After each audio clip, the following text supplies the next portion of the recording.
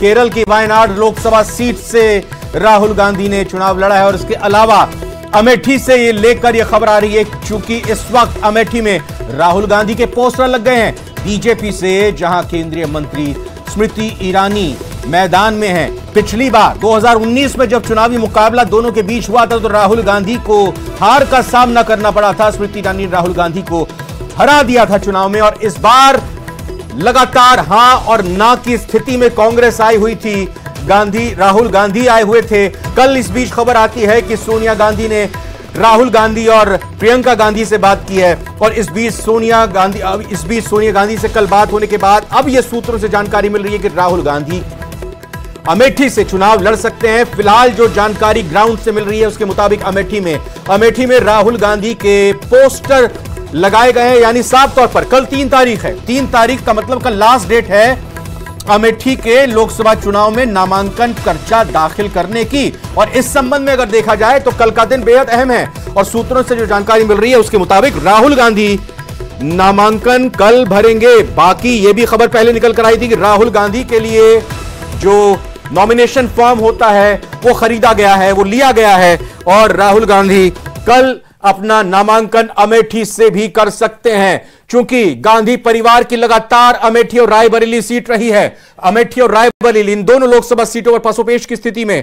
रायबरेली से सोनिया गांधी चुनाव लगातार लड़ती आई, लेकिन राजस्थान से, राज्यसभा से वो सांसद के तौर पर पिछले ही दिनों पहुँची हैं संसद के ऊपरी सदन में। लेकिन इस बीच रायबरेली से कौन चुनाव लड़ेगा और अमेठी से कौन चुनाव लड़ेगा, ये लगातार सवाल उठ रहा था। आखिर में अभी तक स्थिति पूरी तरह से साफ़ नहीं हो पा रही है। कल तीन तारीख को अंतिम तारीख बताई जा रही है नॉमिनेशन फ़ाइल करने की, नामांकन पर्चा दाखिल करने की और इसको लेकर खबर जो सूत्रों से मिल रही है कि राहुल गांधी कांग्रेस के प्रत्याशी के तौर पर अमेठी से चुनाव लड़ेंगे और एक बार फिर से मुकाबला उनका केंद्रीय मंत्री स्मृति ईरानी से होगा। अब यह स्थिति भी साफ़ हो रही है यह जानकारी भी मिल रही है कि राहुल गांधी के अमेठी में पोस्टर लगाए गए हैं। इसका मतलब तो यही लग रहा है कि बिल्कुल नामांकन के आखिरी दिन राहुल गांधी अपना आगाज़ करेंगे अमेठी से। चुनाव लड़ने का कल नामांकन पर्चा वो दाखिल कर सकते हैं, ये जानकारी निकल रही है। कल नॉमिनेशन कर सकते हैं राहुल गांधी तो बड़ी जानकारियाँ निकलकर सामने आ रही हैं।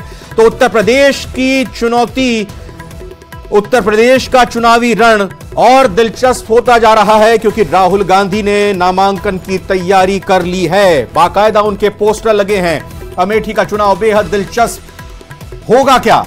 यह इसलिए क्योंकि 2019 के लोकसभा चुनाव में केंद्रीय मंत्री स्मृति ईरानी ने राहुल गांधी को हरा दिया था। राहुल गांधी लगातार अमेठी से चुनाव जीतते आ रहे थे। अमेठी गांधी परिवार की परंपरागत सीट कही जाती रही है। गांधी परिवार से लगातार यहाँ पर चुनावी ताल ठोकी गई है। चुनाव जीते गए हैं, लेकिन इस परंपरा को 2019 में अमेठी की जनता ने तोड़ दिया था, जब बीजेपी की स्मृति ईरानी को उन्होंने चुनाव जिताया था। लेकिन इस बार 2024 में एक बार फिर से क्या इन दोनों दिग्गजों के बीच मुकाबला होगा? स्थिति फ़िलहाल यही बनती दिखाई दे रही है, क्योंकि स्मृति ईरानी बीजेपी की तरफ़ से है।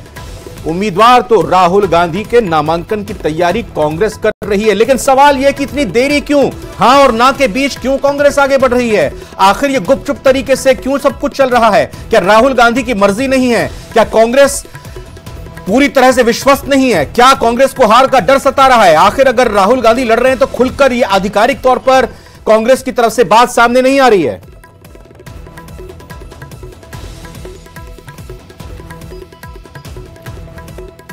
और आइए राहुल गांधी समेत जो लगातार बयान निकलकर सामने आ रहे हैं, उस पर हम चर्चा करेंगे। पहले सीधा रुख हम, हमारे तीन मेहमानों का एक बार फिर से परिचय करा देते हैं। शैलेंद्र गुर्जर बीजेपी प्रवक्ता है, आर आर तिवारी कांग्रेस से हैं, डॉक्टर मिथिलेश जैमिनी जी वरिष्ठ पत्रकार हैं। आर आर तिवारी साहब, बहुत स्वागत आपका। राहुल गांधी ने वायनाड का मैदान तो मार लिया। अब अमेठी में लड़ेंगे, नहीं लड़ेंगे, वो नहीं लड़ेंगे तो कौन लड़ेगा? लड़ेगा जो लड़ेगा, उसका नाम का कब ऐलान होगा? ये कंफ्यूजन ये लेट लतीफी ये स्ट्रेटेजी है या क्या है सर रविंद्र भाई ये तो मान लो आप। थ्री नॉट थ्री की भारतीय जनता पार्टी अगर देश में किसी के नाम से डरती है तो उसका नाम है राहुल गांधी। जिसके पिता ने सर्वोच्च बलिदान दिया जिसकी दादी ने सर्वोच्च बलिदान दिया अपने शरीर के गोलियाँ खा ली और अपने शरीर के चिथड़े उड़ा दिए। राहुल गांधी के बिना देश की राजनीति चल ही नहीं सकती। अब राहुल जी लड़ेंगे राहुल जी नहीं लड़ेंगे ये कोई मुद्दा है क्या? अच्छा कांग्रेस किससे डरती है? कांग्रेस में शीर्ष नेतृत्व कांग्रेस किससे डरती है? को कहेगा मेरे को चुनाव लड़वा दिया कांग्रेस ने एक साधारण कार्यकर्ता को। मोटरसाइकिल चलाने वाले आर आर तिवारी को जयपुर की रणभूमि में डाल दिया हवा महल से। मैं हारा या जीता लेकिन कांग्रेस के हाईकमान ने आपको चुनाव तो लड़वा दिया लेकिन जिन्हें वहाँ पर आपकी मदद करनी तो थी उन्होंने आपको हराने में कोई कोर तो कसर नहीं छोड़ी। अच्छा कांग्रेस को किससे डर? है मार लिया। राहुल गांधी वायनाड से जीत रहा अमेठी से अगर हाईकमान कहेंगे तो अमेठी से भी जीत करके आएँगे। राहुल राहुल गांधी के सामने कौन हाईकमान है, सर? राजनीति का ध्रुव राहुल गांधी को कौन कहेगा? राहुल गांधी को कौन कहेगा कि भाई आप चुनाव लड़े या ना लड़े? नेतृत्व करेगा तिवारी जी कल लास्ट डेट है अमेठी में नॉमिनेशन फ़ाइल करने की राहुल जी को अगर देश में हमारे राष्ट्रीय नेतृत्व अगर कहेंगे तो चुनाव लड़ेंगे उनका पारिवारिक सीट है वो हार गए, लेकिन मन से थोड़ी हारे। देश के अंदर चार हज़ार किलोमीटर घूमता राहुल गांधी। छह हज़ार सात सौ किलोमीटर घूमता एक साधारण सांसद। उसके साथ में तो आपने तो उनकी भारतीय जनता पार्टी के 303 वाली सरकार ने सदस्यता आपने निका, हटा दी। आपने उनका घर छीन लिया। राहुल गांधी का एक ही नारा है, डरो मत। इस देश के नफरत के बाज़ार में प्यार की दुकान। पूरे देश में वो क्या है वो क्या नहीं है लेकिन देश की राजनीति का केंद्र बिंदु है राजीव गांधी के बाद में।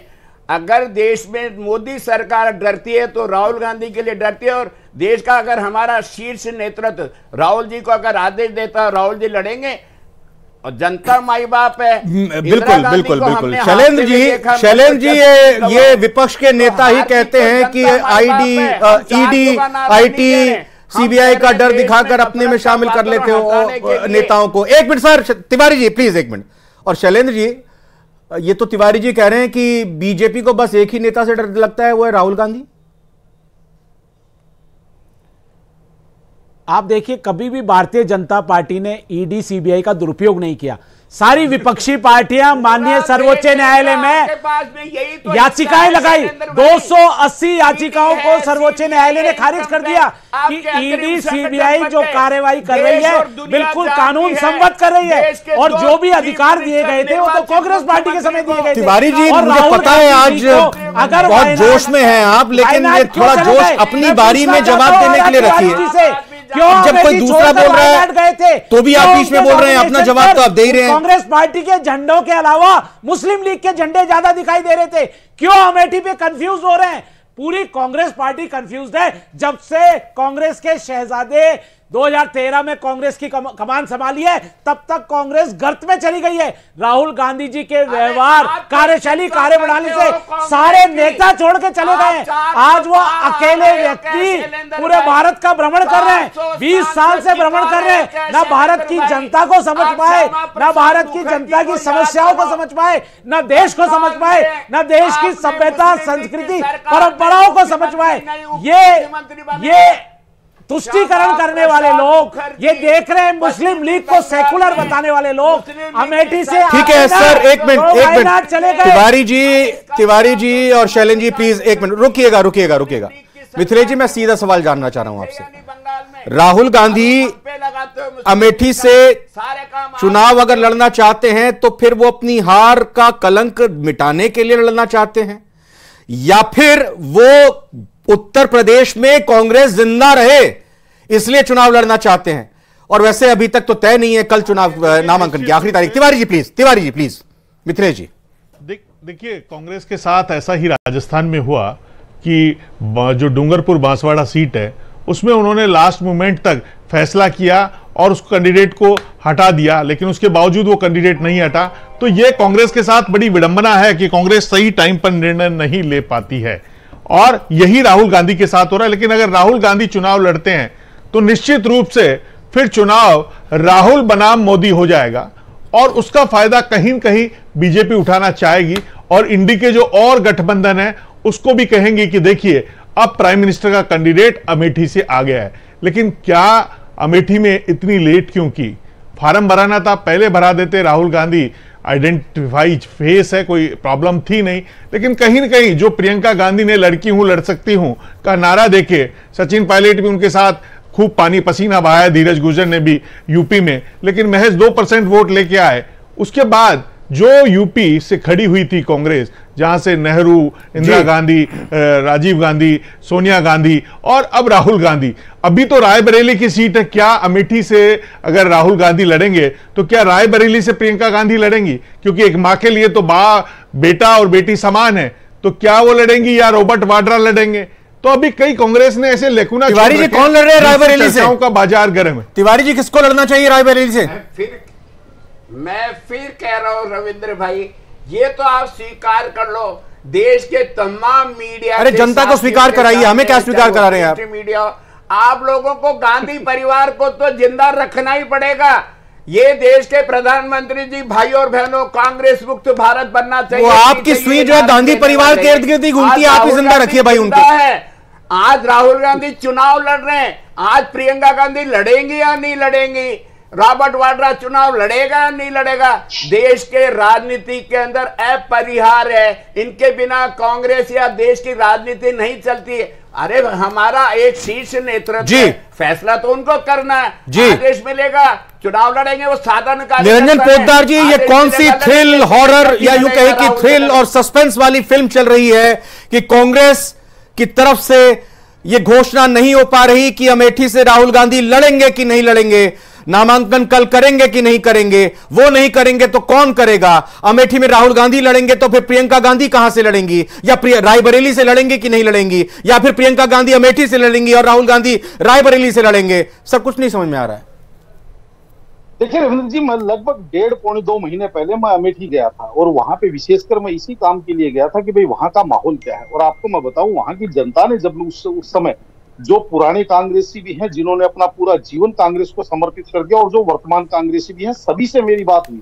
और सबने एक ही बात कही कि अगर राहुल गांधी जी केवल अमेठी चुनाव लड़ने आते हैं और यहाँ लोगों के सामने क्षमा याचना कर लेते हैं कि मैं भटक गया तो कहीं ना कहीं यहाँ की जनता उनको स्वीकार करने के लिए तैयार है। लेकिन अगर वो वायनाड से भी चुनाव लड़ते हैं और अमेठी से भी चुनाव लड़ते हैं तो निश्चित रूप से पिछली बार पचपन हज़ार वोटों से हारे थे और इस बार लगभग हार का अंतर इससे चार गुना हो जाएगा। कहाँ की? अमेठी की बात कर रहे हैं वायनाड की बात कर रहे हैं? अमेठी अमेठी की बात कर रहा हूँ। अच्छा। हार का अंतर चार गुना क्योंकि वायनाड में इनके सहयोगी इनके सहयोगी वाम दल के प्रत्याशी हैं इनके खिलाफ। मुझे पता है एनी हाँ। राजा है डी राजा की पत्नी और वहाँ पे भी बहुत अनाप शनाप जो जिसको कहते हैं बयानबाजी हुई है। लेकिन अब मैं आपको रायबरेली की बात बता रहा हूँ।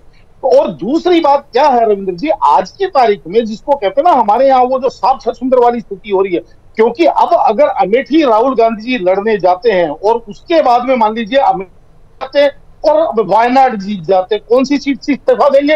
अगर अमेठी से इस्तीफा देंगे तो अमेठी की जनता को क्या कहेंगे कि भाई, मैंने यहाँ पे आपको खाली बेवकूफ़ बनाने के लिए वोट मांगा था, और अगर वायनाड की जनता वायनाड से इस्तीफा देंगे तो वायनाड की जनता को क्या जवाब देंगे कि 2019 में जब इनकी विषम परिस्थिति में वायनाड इनके साथ खड़ा था, उस वायनाड को अब इन्होंने धोखा दे दिया। तो कदाचित ये पसोपेश चल रहा है। और दूसरी तरफ़ अगर आप रायबरेली की बात करें तो रायबरेली के अंदर जिस तरीके से प्रियंका गांधी जी का बार बार कहा जा रहा है और जो ये कह रहे हैं कि कांग्रेस हाईकमांड तय करेगा, कांग्रेस वो एआईसीसी तैयार करेगी, आपको मैं एक चीज़ बताऊँ रविंद्र जी, कांग्रेस हाईकमांड तो राहुल गांधी जी स्वयं है। क्योंकि आपने देखा होगा पीछे खड़गे जी का खुद का बयान था कि हम हाईकमांड से बात करेंगे। तो कहने का तात्पर्य और खड़गे जी तो बार बार कह रहे हैं कि राहुल जी आपको अमेठी से लड़ना अरे रॉबर्ट जब रॉबर्ट वाड्रा कह रहे हैं कि मैं लड़ना चाहता हूँ चुनाव तो उनको क्यों नहीं दिया जा रहा टिकट?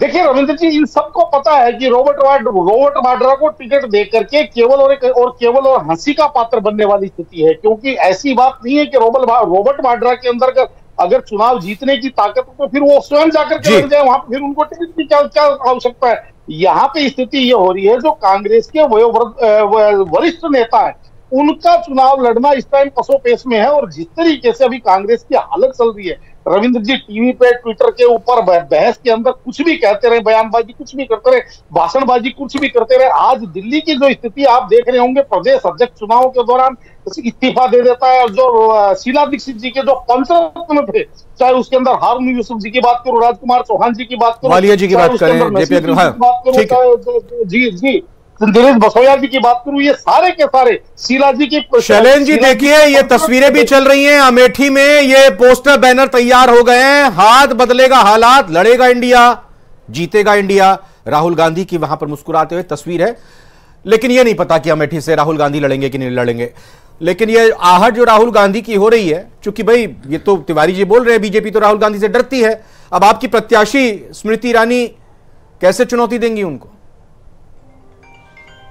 देखिए रविंद्र जी, हम तो स्वागत करते हैं कि राहुल गांधी जी अपनी परंपरागत सीट, जो 60 साल से नेहरू और गांधी परिवार की सीट रही है, उस पर वापस आए। वहाँ की जनता से माफ़ी मांगे कि मैंने आपको धोखा दिया था और फिर हार के जाएँ। वायनाड में तो पता है, मुस्लिम लीग सपोर्ट कर रही है, इनके नॉमिनेशन में भी। कांग्रेस के झंडे कम मुस्लिम लीग के झंडे ज़्यादा थे तो शहजादे का स्वागत किया जाएगा अमेठी में। उत्तर प्रदेश में स्वागत किया जाएगा और राहुल गांधी से कोई नहीं डरता। राहुल गांधी से तो खुद कांग्रेस ही डरते हैं। कांग्रेस के जितने भी शीर्ष नेता हैं मुख्यमंत्री लेवल के केंद्रीय मंत्री लेवल के वो उनसे डर के कांग्रेस छोड़ के तो आप देखिए तिवारी लिस्ट है। तिवारी जी तो नहीं डरेंगे क्योंकि तिवाड़ी जी अभी उस लेवल पे नहीं पहुँच रहे हैं। कोशिश अरे सर विधानसभा चुनाव लड़ा है ऐसी क्या बात कर रहे हैं? आपने लड़ा आपने लड़ा क्या विधानसभा चुनाव शैलेंद्र जी? आपको टिकट तो नहीं मिला ना? तिवारी जी को टिकट दिया वो कह रहे हैं कि सामान्य कार्यकर्ता मोटरसाइकिल पर चलने वाले कार्यकर्ता को टिकट दे दिया।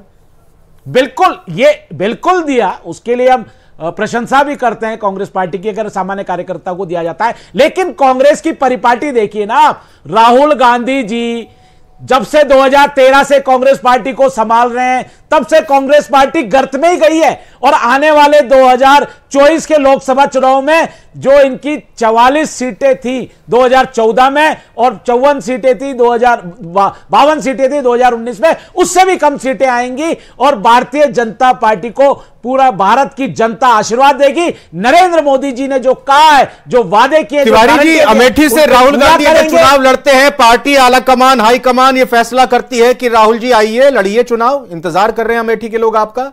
तो अमेठी से जीत जाएँगे इस बार चुनाव, राहुल? देखो, अहंकारी नहीं है राहुल गांधी। ये देश के प्रधानमंत्री आत्म मुग्ध प्रधानमंत्री है दिव्य मतलब अभी आप कॉन्फिडेंटली कह नहीं सकते कि हम जीत जाएँगे। तो वो कह रहे हैं चार सौ पार। अरे अरे मुझे बताइए ना अमेठी में क्या आज की तारीख में आपको लगता है कि राहुल गांधी चुनाव लड़ेंगे तो जीत जाएँगे तिवारी जी? राहुल गांधी क्या चुनाव जीत जाएँगे। अरे इतना तो बता दिए इतना कॉन्फिडेंस तो रखिए कि जीतेंगे हारेंगे। आपकी बात चार सौ पार ले डूबेगा देश की प्रधानमंत्री। अरे तिवारी जी आपके अंदर तो कॉन्फिडेंस है बोल दीजिए ना। राहुल गांधी चुनाव जीतेंगे क्या? अमेठी का इस बार? राहुल गांधी से विड्रॉ कर लेते। अमेठी से लड़ लेते। क्यों नहीं वायनाड से विड्रॉ कर रहे थे? जनता क्यों वायनाड में लड़ना चाहते हैं? जनता का फैसला हो अच्छा अगर राहुल गांधी चुनाव जीत गए चलो जनता ने अगर जिता दिया एक हाइपोथेटिकल मैं कह देता हूँ।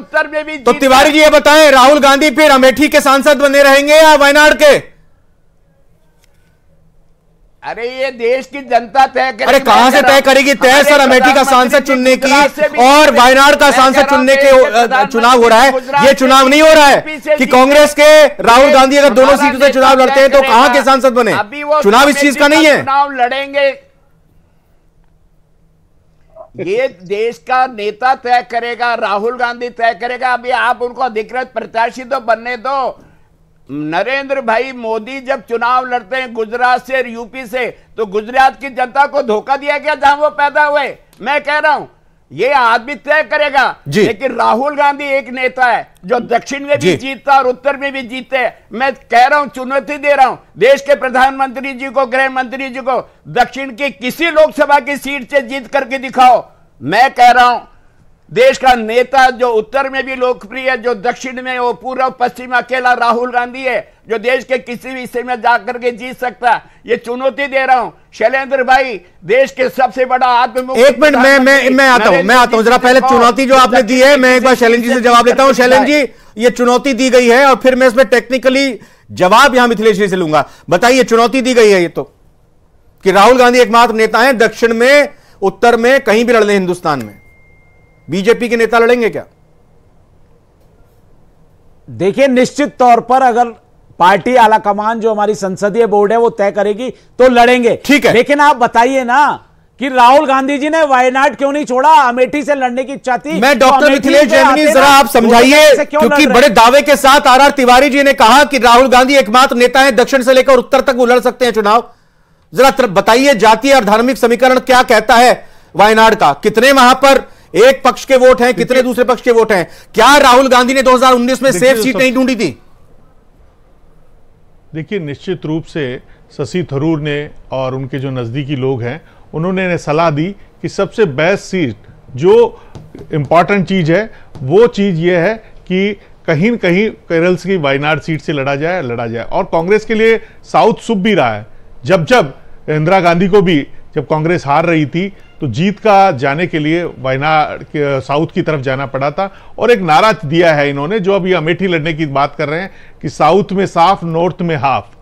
तो क्या नॉर्थ में हाफ़ करने के लिए जो राहुल गांधी है वो अमेठी जा रहे हैं? लेकिन अमेठी में जाने से पहले उन्हें एक याद रखना पड़ेगा कि एक बयान उनको भारी पड़ सकता है, जिसमें उन्होंने राजा महाराजाओं पर प्रहार किया है। उसके बाद कई जो राजपूत कम्युनिटी के लोग लिख रहे हैं कि राजा सिवी ने एक कबूतर को बचाने के लिए अपने मांस का टुकड़ा दे दिया। जी। गाय को बचाने के लिए राजा दिलीप ने अपना दान कर दिया हरिश्चंद्र ने दान कर दिया और विनोबा भावे को सूर्य नारायण सिंह ने अपनी जमीनें दी। तो क्या वो चीज़ आपको वहाँ प्रॉब्लम करेगी। आपने किसी मुगल बादशाह के लिए नहीं बोला ओके ओके तो आठ बजे से पहले प्राइम डिबेट में जो बयानों की बहार को लेकर चर्चा शुरू हुई थी चाहे वो बात वोट जिहाद की हो चाहे भगवान कृष्ण की तुलना बीजेपी के या यूँ कहें कि जेडीएस के नेता से करने की हो कि कृष्ण का भी रिकॉर्ड तोड़ दिया भगवान कृष्ण का रिकॉर्ड तोड़ दिया या मल्लिकार्जुन खड़गे की बात हो तो बात मुद्दों की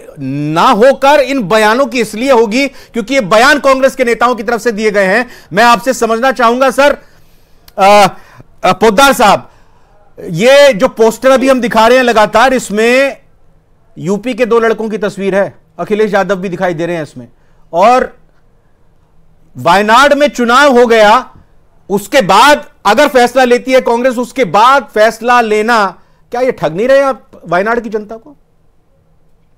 देखिए रविंद्र जी ऐसा है ये इनका सत्ताधिकार है लेकिन अगर आपने कहा यूपी के दो लड़के तो 2017 के विधानसभा चुनावों के अंदर भी गए थे और बहुत नारे लगे थे और बहुत इस चीज़ का प्रचार भी हुआ था।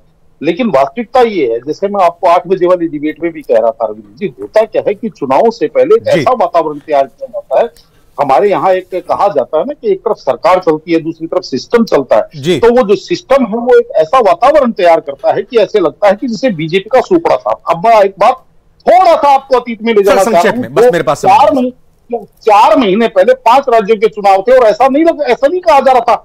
आज नहीं रिवाज बदलेगा और छत्तीसगढ़ के अंदर भी ये होगा और मध्य प्रदेश के अंदर तो पता नहीं कितना बड़ा भूचाल आ जाएगा। और उस सिस्टम ने ऐसा माहौल तैयार कर दिया जी।